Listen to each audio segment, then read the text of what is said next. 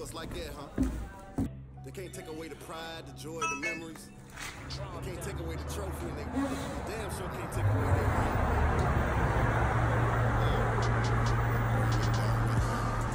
that. Good morning, everybody. It is such a lovely day in the Highlands here at Yes Working. It is snowing a bit today. It's a bit festive. We've got some great decorations up in here. Let me let me let me show you. Let's go inside here. Stockings are hung by a chimney with care. Trees up. It's a wonderful place to work. You can set up your office here. You can make 965 Baxter your address, your business home.